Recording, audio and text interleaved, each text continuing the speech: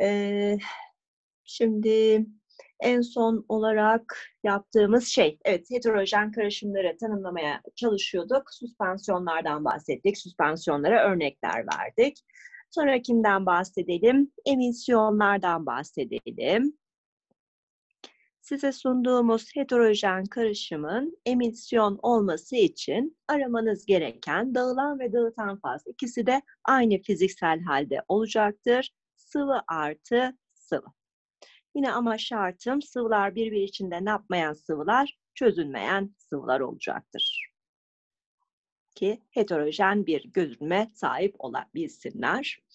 E, alkollü su sanırım yine örnek olarak yazamayacağım bir örnek. Alkol suda çözündüğü için. E, birbiri içinde çözünmeyen sıvılar olarak en klasik aklımıza gelen örnekler e, ne olabilir? Zeytinyağı artı su karışımı yağ artı su diyebilirim. E, petrol ürünlerimiz yine birbiri içinde ne yapmazlar? Çözünmezler. Benzin artı su diyebilirler. E, başka ne diyebiliriz? Mazot artı su. Yine petrol ürün olarak aklıma gelen oldu. Başka örnek olarak bazı örneklerimi birden fazla yere alabileceğim. Mesela bazılarımız mayonezi direkt yumurta akı ve yağ olarak bakarak buraya verebiliriz. Ama biraz sonra başka yere tekrar yazacağım. Mayonez hem emisyon hem de başka bir madde örneği olarak, heterojen karışım örneği olarak karşımıza gelebilecektir. Süspansiyonlarım, emisyonlarım bunlar oldu. Sonra kolloidal çözeltilerden bahsettik. Kolloid, e, çözelti diyorum çok özür dilerim. Kolloidal karışımlardan bahsettik. Onlar biraz daha özel olan heterojen karışımlarımızdır. Bir karışımın kolloidal karışım ol, olması için dedik ki biz karışıma baktığımız zaman tek bir madde gibi mi görebiliyoruz yoksa birden fazla madde gibi mi görebiliyoruz? İşte kolloid karışımların özellikleri buradan kaynaklanacaktır dışarıdan çıplak gözle baktığımız zaman kolloid karışımlar homojen gibi gözükecekler. Ama mikroskop yardımıyla çok küçük ayrıntılarla baktığımızda heterojenliği görebileceğiz. Size sunduğumuz karışımın kolloid olması için arkadaşlar e, yine çözünmeyen bir katımız olacak. Katı sıvı içinde asılı kalmalıdır. Dışarıdan baktığımızda onu homojen gibi gördüm ama baktığımız zaman direkt e, mikroskop yardımıyla baktığımızda e, onun heterojenliğini görebileceğiz. Buradaki bahsettiğimiz katı yani dağıta, dağılan fazımızın e, tanecik boyutunun çok küçük olması. Boyutu çok küçük olmalıdır. İşte bu e, kolloidal karışımların görüntüsünden dolayı hani homojenle nasıl ayırt edebileceğiz? Size şöyle şekil üzerinden konuşmaya çalışırsak ışıktan çok yardım alıyoruz arkadaşlar. Hatta şuraya süspansiyon örneğini de çizeyim tanecik boyutundan dolayı. Evet size üç tane kabın içinde katı sıvı karışımlar hazırlamaya çalışacağım. Birincisi kolloid olsun. Buradaki katı tanecikleri çok küçük boyutlarda sıvı içinde asılı kalmıştır. Ama dediğim gibi çıplak gözle baktığımızda göremiyoruz. İkincisi çözelti örneğim olmuş olsun. Buna baktığımız zaman homojen karışım olduğu için tek bir madde gibi görüyorum. Üçüncüsü de süspansiyon olsun. Süspansiyon da katı sıvı ama katı sıvının içinde ne yapmıştır? Çökmüştür diyebiliyoruz. Evet, şimdi bu üç tanesinde de katı tanecikler, çözünen maddeler, karışanlardan birisinin e, katı olmasını seçtim. Kolloid olması için katı tanecik boyutu, şöyle yazayım hepsi içinde, katı tanecik boyutu e, küçük olmalıdır çözelti olabilmesi için tanecik boyutunun bizim gözümüzle göremediğimiz kadar çok çok küçük olması diye belirtebilirim. Süspansiyonlarda ise katı tanecik boyutlarının büyük olmasından bahsedebiliriz.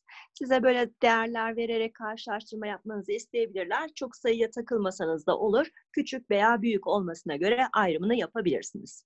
İşte kolloidle çözeltiyi ayırt edebilmek için arkadaşlar ışıktan yardım alarak bir ayrım yaptırtabiliyorlar. Eğer ben birinci kabıma ışık gönderirsem ışık çok küçük olan foton dediğimiz ışığımız çok küçük olan katı taneciklerine ne yapacaktır? Çarpacaktır ve geri sapacaktır. Bir saçılmaya e, uğrayacaktır. Çözeltide ise katı taneciklerin boyutları çok çok küçük olduğu için gönderdiğiniz ışık ne yapmayacaktır? Saçılmayacaktır.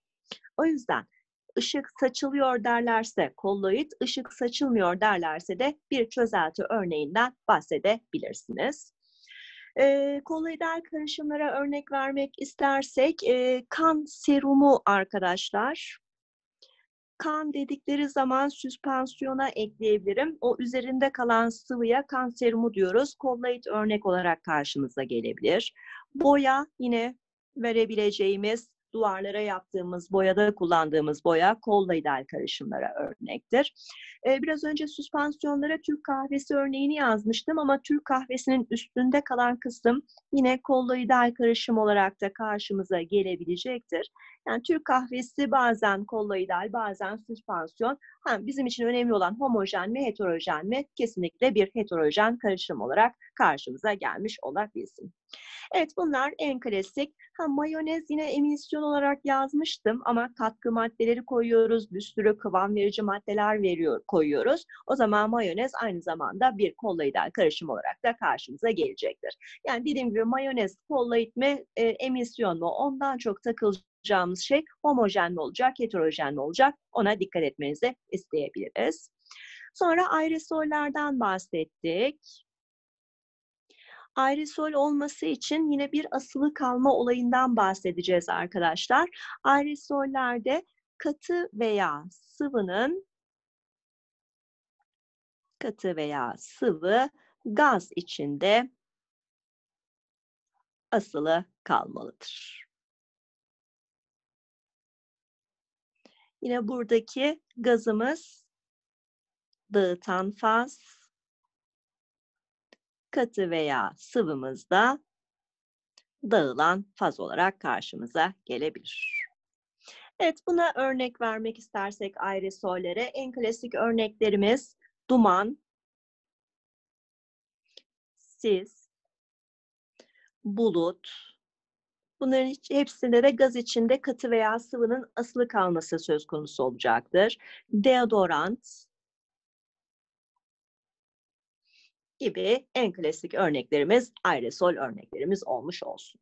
Evet son heterojen karışım olarak da incelediğimiz basit adi karışım.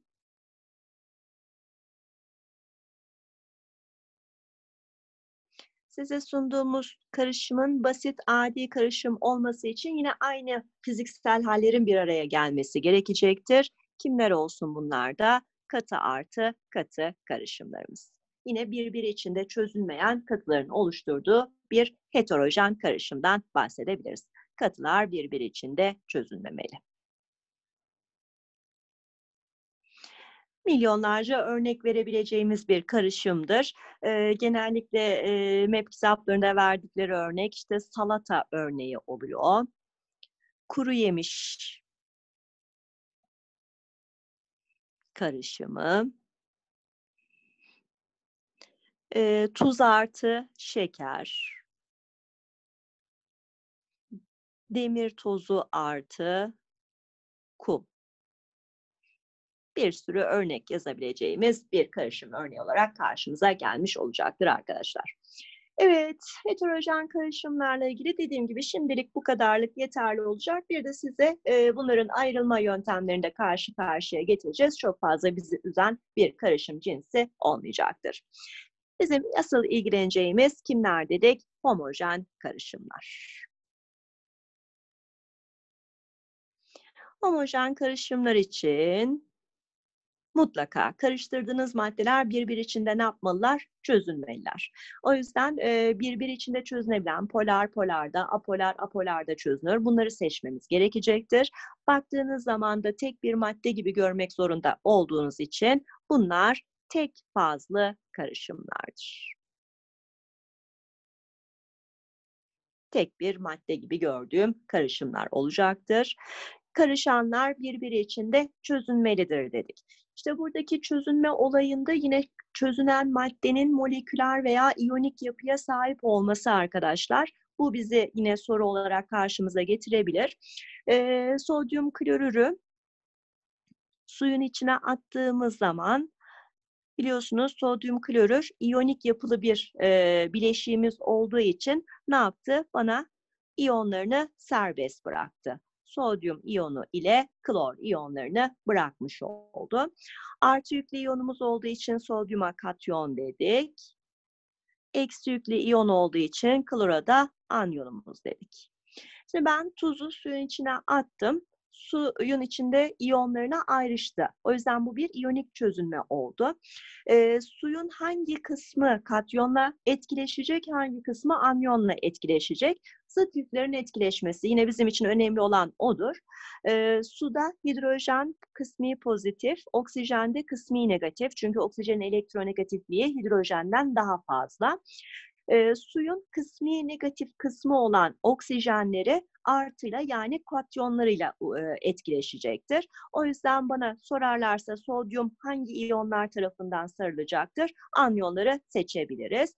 Bu oksijenlerin kısmi negatif yüküyle etkileşti. Anyon hangi kısmıyla etkileşecek dediğimiz zaman burası eksi olduğu için artı yüklü olana baktım suyun artı yükleri anyon kısmıyla etkileşidir diyebiliriz. İşte eğer çözünmemizde çözünen maddeniz burada olduğu gibi iyonik yapılı ise arkadaşlar bu çözünmeye iyonik çözünme diyebiliriz. Ona verdiğimiz bir örneğimiz. Ha, illa iyonik çözünme olmak zorunda değil, moleküler çözünme de olabilir. Mesela yine hemen aklımıza gelen klasik örneğimiz şekerli su oldu. C6H12O6'yı suyun içine attığımız zaman şeker kovalent bağlı bir bileşiktir. O yüzden de nasıl yapılıdır? Molekül yapılıdır. E, molekül yapılı olduğu için suya attığımız zaman ne yapmayacak? İyonlarını serbest bırakmayacaktır. Dolayısıyla C6, H12, O6, aqua şeklinde bir çözünme olayını gösterebiliriz. Çözünen maddemiz molekül yapılıysa bu çözünmeye de moleküler çözünme diyebiliriz. Çözünen maddeye göre kararınızı verdiniz. İyonik çözünme mi yoksa moleküler çözünme olduğuna mı? Biz genellikle çözücü olarak kimi kullanıyoruz? Suyu. En çok kullandığımız çözücümüz sudur arkadaşlar. Eğer size oluşturduğumuz çözeltideki çözücü su ise buradaki hidratasyon olayı gerçekleşmiştir. İlla su olmak zorunda değil çözücümüz. Alkol olabilir, eter olabilir. Başka sıvıları da çözücü olarak kullanabiliriz. Eğer çözücünüz su değilse bu çözünme olayına da solvatasyon denir. Buradaki kullanılan çözücüye de solvent çözücü olarak ifade edilebilir. Bu solvatasyon olarak adlandırılacaktır solvent çözeltiler, e, solvent çözücüler duymuş olabildiğiniz kelimelerden birisidir. Solvent çözücü demek, demek ki çözücü maddenin su değil, su dışında herhangi bir maddenin olması olacaktır. Evet, çözünme olayımızı şöyle kısaca bir özetlemek istedik arkadaşlar. Ee, şimdi çözeltilere örnekler vermek isteyeceğim ama isterseniz şöyle bir tablo gibi yapalım. O tablo üzerinden çözelti örnekleri bulmaya çalışalım. Ee, çözünen maddemiz olsun. Bunu bir çözücüyle bir araya getirmişim. Ve bu ikisinin birlikteliğinden de bir çözelti oluşturmuşum. Kimler olabilecektir buradaki çözelti örneklerimiz? Örneğin çözünen maddeniz katı olsun, çözücü maddeniz de katı olsun. Hmm, öyle bir örnek bulmalıyım ki kendime iki katı birbiri içinde çözünecek. Aklıma gelen ilk örnek katıların birbiri içinde çözünmesine. Biliyorsunuz metaller oda koşullarında katı halde bulunurlar. İki tane metali e, eriterek sıvı halde karıştırıyorlar, tekrar donduruyorlar. Bu oluşturduğumuz yapıya da kimler adını veriyoruz? Alaşımlar alaşımlar bizim verebileceğimiz en iyi çözelti örnekleridir. Alışım olması için örnek olarak alışım olarak aklımıza gelenler çelik olabilir, lehim olabilir, tunç olabilir, 18 ayar altın, 14 ayar altın önemli değil. 24 ayar altın saf altın olarak kabul edilebilecektir. Pirinç, çinko artı kromdan oluşan bir alışımdır. Bunun gibi alışım örneklerini verebiliriz rahatlıkla. Ee, size çelik bir çözeltidir dediğimizde biraz garipsiyorsunuz. Evet çelik bir çözeltidir arkadaşlar. Alışım olduğu için katılar homojen olarak bir araya gelmiştir. Ha, alışım olması için illa metal olmasına gerek yok. Aslında e, metalli ametalde de örnektir ki çelik buna en iyi örnektir. Bir metal ile ametal, e, metal ile metal veya metal artı ametal. Bunlar bir araya gelerek bize çözelti örneklerini oluşturabilirler. Evet, bütün alaşımlar çözeltidir diyebiliriz. Çözünen maddemiz katı olsun, çözücü maddemiz de sıvı olsun. Bir örnek aramaya çalışırsak sanırım en klasik kullandığımız örneklerden birisi geliyor. Tuzlu su, şekerli su birer çözelti örneğimizdir. Ee, yer değiştireyim. Çözünen maddem sıvı olsun, çözücü maddem katı olsun. Bunlara da verebileceğim örneklerim amalgam dediğimiz karışımlardır. Ee, diş dolgusu en çok kullanılan örnek olarak gelecektir arkadaşlar. Civa sıvısını kullanmışlardır. Gümüş metaliyle bir araya getirerek e, çözünen maddem sıvı olsun, çözücü maddem o da sıvı olsun. Evet, iki, birbiri içinde çözünen iki tane sıvı bulmaya çalışıyorum. Benzer benzeri çözer ilkesinden. En klasik örnek olarak hemen alkollü suyu yazı verdim. Kolonya buna en iyi örneklerden birisidir. Etil alkol artı su karışımı. Ee, sirke olabilir, Sirke de sirke asidi diye sık sık bahsettiğimiz asetik asit artı su karışımıdır. Evet, sıvı sıvı karışımlara aklımıza gelen en klasik örnekler. Çözünen maddemiz gaz olabilir, çözücü maddemiz sıvı olabilir. Yine klasik örnek olarak söyleyebileceğim tüm içtiğimiz asitli içecekler karbondioksit gazının suda çözünmesiyle verebildiğimiz asitli içecekler. Saf su dışında bizim kullandığımız, içtiğimiz sular, e, çeşmeden gelen sular, bunların içinde de hepsinde de oksijen gazı suda çözülmüştür arkadaşlar. Onlar da örnek olarak karşımıza gelebilir. Çözünen maddem gaz olsun, çözücü maddem gaz olsun. Gaz-gaz karışımlarına verebileceğim en iyi örnek temiz hava.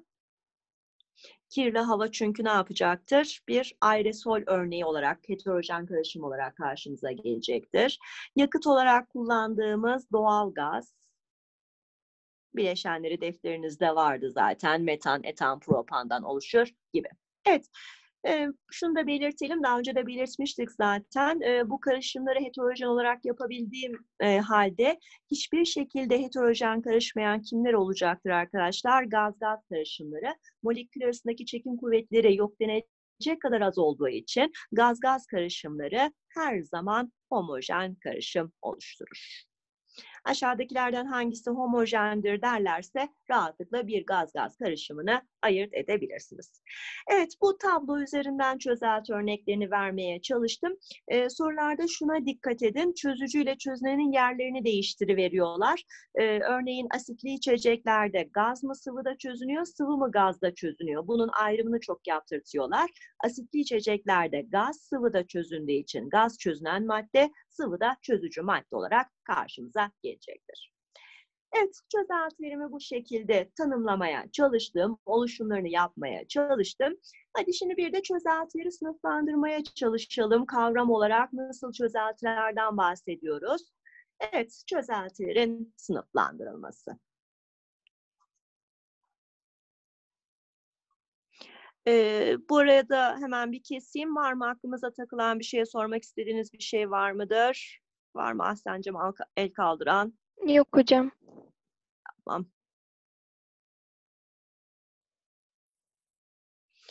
Evet, çözeltileri size üç farklı şekilde sınıflandırmaya çalışacağım arkadaşlar. Ee, oradaki maddelerin özelliklerine göre. Birinci yapacağım sınıflandırmada çözünen madde miktarına göre.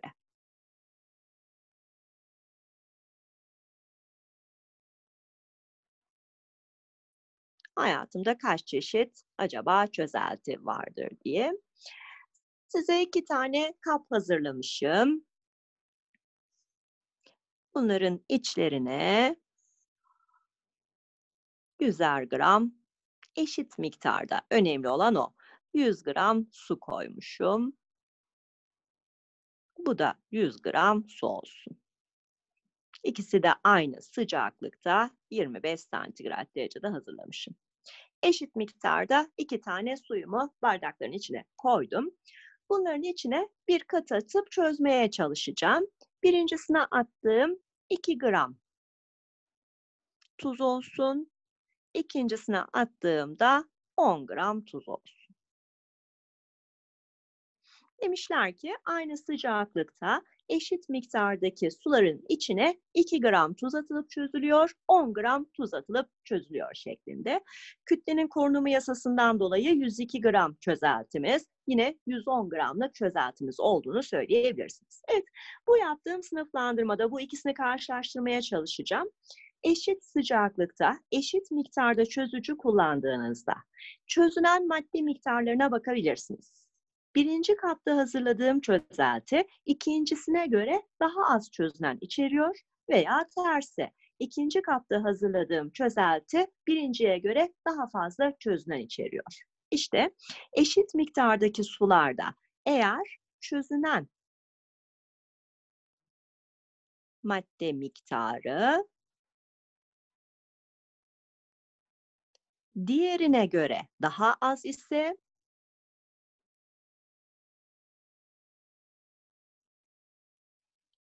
böyle çözeltilere seyreltik çözelti diyelim. İkincisinde hazırladığım çözünen madde miktarı birinci kaptakine göre yani diğerine göre daha fazla olduğu zaman da bunlara da derişik çözelti diyebiliriz. Bir karşılaştırma sınıflandırmasıdır. Net sayılar kullanamayız. Biri diğerine göre daha seyreltik veya derişik şeklinde ifade edeceğiz. Bu sınıflandırmayı yaparken esprisini unutmayın arkadaşlar. Hangisi daha fazla, hangisi daha az? Aynı sıcaklık ve çözücü miktarının eşit olması çözücü miktarı eşit olmalıdır. İşte size su miktarlarını farklı verebilirler. Siz bu su miktarlarını eşitleyerek kim daha seyreltik, kim daha derişik şeklinde bir karşılaştırmanızı yapabilirsiniz. Bu birinci sınıflandırmamda net sayılar yok dedik. Daha net sayılarla kullandığım ikinci sınıflandırmam ki en çok kullanacağımız çözünebilen madde miktarına göre. Evet, ben suyun içinde istediğim kadar tuzu çözebilirim ama suyun bir e, sınırı vardır, çözebileceği tuz miktarı vardır, bir sınır vardır. O sınıra göre yaptığımız bir sınıflandırma. İşte bu sınıflandırmada mutlaka ve mutlaka sayılara ihtiyacım var arkadaşlar. Size ne kadar su, ne kadar e, madde çözebilir en fazla bu sayılarla yapabildiğim bir sınıflandırma. Mesela demişler ki bana 25 santigrat derecede bu bilgi olarak bize sunulmuş. 25 santigrat derecede 100 gram su en fazla 30 gram tuz çözebilir. Size elimdeki su hangi sıcaklıkta ne kadar madde çözebiliyor bunun bilgisini sundum. Sonra bu bilgi üzerinden size bir miktar suyun içine bir miktar çözünen madde ekleyerek çözeltiyi sınıflandırmaya çalışayım. Mesela bir bardak suyu almışlar. 25 santigrat derecede sıcaklığımın mutlaka aynı kalması gerekecek. 25 santigrat derecede 100 gram su içeren bir sistemi hazırlamışız. Sonra istemiş. Bunun içine demiş 10 gram tuz ekle. Şimdi bu çözeltim nasıl bir çözelti oldu? 25 santigrat derecede 100 gram su. En fazla 30 gram tuz çözebiliyor. Benim eklediğim tuz 10 gram. Çözebileceğinden daha az çözünen içeriyor.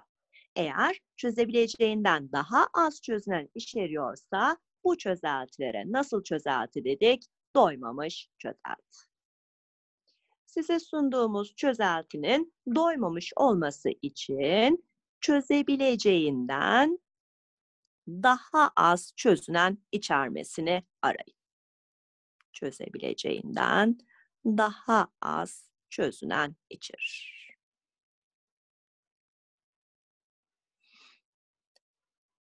...30 gramın altında eklediğim her madde miktarıyla ben size doymamış çözeltiyi hazırlamış olabileceğim. Sonra başka bir tane daha kap versinler. Yine kabın içine 25 santigrat derecede 100 gram suyu koymuş olsunlar. Ve desinler ki bu kabın içine 30 gram tuz ekle. İşte şimdi anladım. 25 santigrat derecede 100 gram su. Maksimum ne kadar tuz çözebiliyordu? 30 gram tuz çözebiliyor. Tam çözebileceği kadar çözünen madde eklemişim. O zaman bu çözeltileri de nasıl çözeltiler dedik? Doymuş çözeltiler. Bir çözeltinin doymuş çözelti olabilmesi için çözebileceği kadar ne içermesi lazım? Çözünen. Kadar çözünen içerir.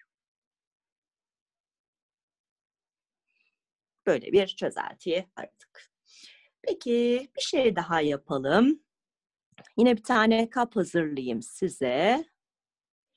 Yine 25 santigrat derecede aynı sıcaklıkta 100 gram su hazırladım. Bu sefer dedim ki gidin buraya dedim 35 gram tuz ekleyin. Acaba ben nasıl bir çözelti elde etmiş olacağım?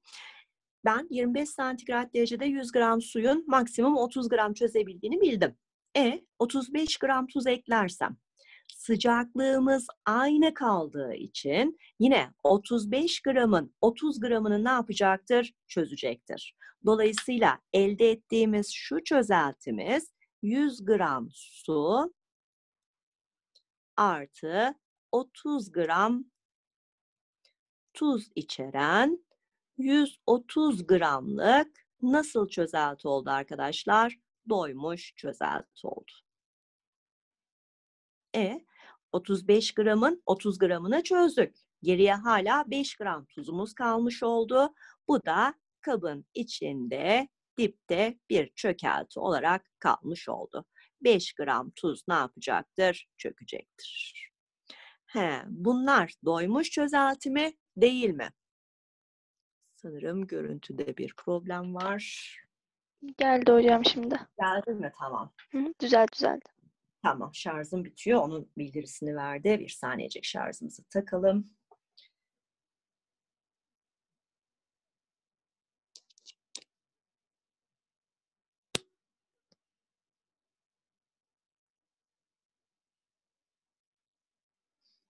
Evet, e, 5 gram tuzumuz çöktü.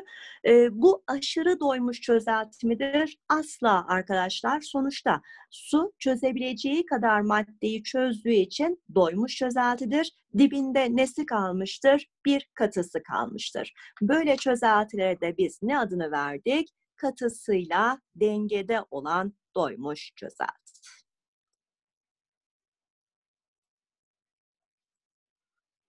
Katısıyla dengede olan çözeltiler aşırı doymuş mudur? Böyle kandırmaya çalışacağız. Hayır diyeceksiniz. Bunlar yine doymuş çözeltilerdir. Çünkü benim çözeltiyle ilgilendiğim kısım sadece yukarıda kalan kısım olacaktır. Evet, ya doymamış ya da doymuş. Doymuşlarda da iki tane olasılık gördüm. Dibinde katısı bulunmayan doymuş çözeltiler, dibinde katısı bulunan doymuş çözeltiler olarak doymuşları da kendi içlerinde ikiye ayırmış oldum. Peki aşırı doymuş olması için ne olması gerekecek? Genellikle sıcaklığı değiştirerek, arttırarak maddenin daha fazla çözünen madde içermesini sağlamaya çalışacağım. Yani ben biraz önceki sayılarımı 25 santigrat derece için vermiştim galiba. Bu sıcaklığımı değiştirirsem. Örneğin 25 değil de bu sefer 100 gramlık suyumu 30 santigrat derece vermiş. Tamamen atıyorum sayımı. 30 santigrat derecede 100 gram su vermiş. Ben bunun içine 40 gram tuzumu ekledim. Ve eklediğimin hepsini de çözebildim arkadaşlar. 140 gramlık bir çözelti elde etmiş oldum. Hazırladığım bu çözelti 25 santigrat derecedekine göre 25 santigrat dereceye göre hazırlanan bu 140 gramlık çözelti nasıl çözelti olacaktır? Aşırı doymuş çözelti.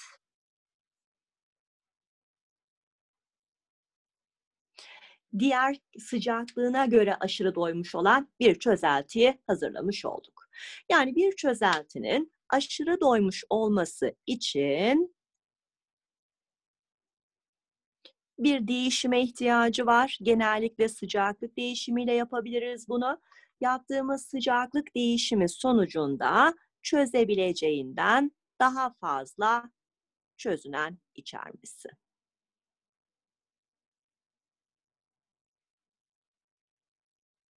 Daha fazla çözünen içerir. Evet, aşırı doymuşu hazırladım. 30 santigrat derecede çözebileceğinden daha fazla maddeyi çözdüm. Aşırı doymuş çözeltiler kararsız çözeltilerdir. Yani her zaman böyle aşırı doymuş olarak karşımıza gelmez. Aşırı doymuşlara en klasik örneğimiz e, reçeldir, baldır, şerbetli tatlılardır bunları hazırlarlarken çok daha fazla şeker çözerek daha iyi şekerin tadını almamızı istiyorlar. Reçel, bal, şerbetli tatlılar birer aşırı doymuş çözeltilerdir. Reçelimiz bir süre geçtikten sonra ne yapacaktır? Şekerlenecektir. Çünkü e, aşırı doymuş çözeltiler bir süre sonra tekrar fazladan çözdüğümüz maddeyi dibine çökerek katısıyla dengede olan çözeltilere dönüş yapacaklardır. O yüzden aşırı doymuş çözeltiler kararsız çözeltilerdir diyebilirsiniz. Bir süre sonra tekrar katısıyla dengede olan çözelti haline dönmüş olacaktır. Evet bu ikinci sınıflandırmam sayılara göre yapabildiğim bir sınıflandırmaydı. Üçüncü ve son sınıflandırmamı yapabiliyorum. Bunu aslında daha önce ben size bileşiklerin özelliklerinde konuşmuştum. İyonik ve kovalent bileşikleri konuşurken yaptığımız bir çalışmaydı. E, iletkenliklerine göre bir sınıflandırma yapacağız.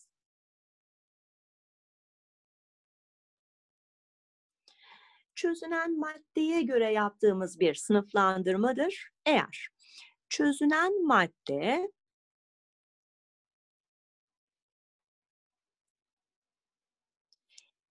iyonlarına ayrışarak çözünüyorsa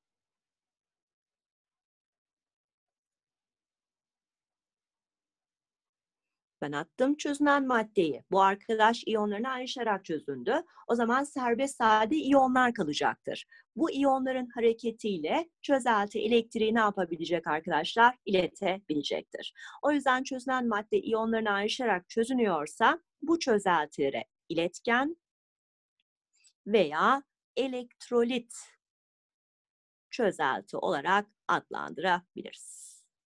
Evet, kimler vardır böyle dersek? Tabii ki de iyonik bileşiklerimizin hepsi, tüm tuzlarımızı rahatlıkla alabiliriz. Sodyum klorür katısını suyun içine attığımda sodyum artı aqua ve klor eksi aqua iyonlarını verdiği için tuzlu su elektriği ne yapacaktır? İletecektir. Bütün tuzlar, metal, ametal, metal kök bileşikleri. Mesela köklü bir tane daha yazalım. E, magnezyum fosfat yazmaya çalışsam. Köklerimizi biliyoruz zaten. Evet, magnezyum fosfat katısını suyun içine attığım zaman bana yine iyonlarını verecektir. Üç tane magnezyum iyonu, denkliğini de sağlamaya çalışıyorum. Artı iki tane fosfat iyonu. Yine serbest olarak bana iyon bıraktığı için magnezyum fosfatın da sulu çözeltisi elektriği iletecektir. Bunlar iyonik yapılara örneğim zaten. Peki kovalent bileşik olmasına rağmen iyonlarını ayrışarak çözünenler var mıydı? Yine daha önce size bir vurgulamıştım bunu. Mesela hidroklorik asit. HCl dediğimiz yapı. Ametal ametal olduğu için kovalent bileşiktir. Ama bir asit olduğunu biliyoruz. Bir maddenin asit olması demek de suyun içine atıldığı zaman ne yapması? İyonlarına ayrışması. H artı iyonu veriyor ki bana asidik özelliğine sahip oluyor. O yüzden HCl'yi suyun içine attığımız zaman hidronyum iyonu ve klor eksi iyonlarını verdi. O yüzden tuzların ve asitlerin de sulu çözeltisi elektriği ne yapacaktır? İletecektir. Ee, mesela şeyler vardı, ametal oksitlerinin zengin olanları, karbondioksit gibi. Bu da bir ametal oksitimdi. Oksijence zengin olduğuna göre e, suya atıldığı zaman bana H artı iyonunu versin ki asidik özelliğe sahip olsun. Karbondioksiti de suyun içine attığımız zaman bana bikarbonat iyonu ve H artı iyonunu verecektir. O yüzden asitlerin de sulu çözeltisi, bazların da sulu çözeltisi elektriği iletir diyebilirsiniz. İsterseniz şöyle bir genelleme yaparsam, tuz, asit, baz, sulu çözeltileri iletken çözeltidir. Yani elektrolit çözeltidir. Evet, çözünen maddemiz iyonlarına ayrışarak çözünüyorsa iletken çözeltidir dedik. E, çözünen madde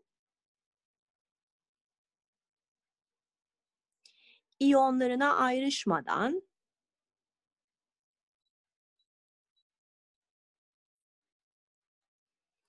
bunu demek yerine moleküler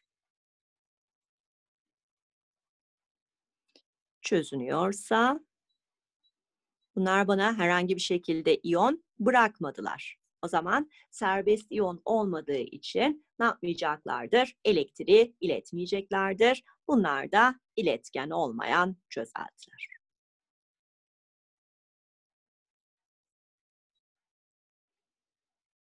Bunları da kovalent bileşiklerin özelliklerinde konuşmuştuk hatırlıyorsanız.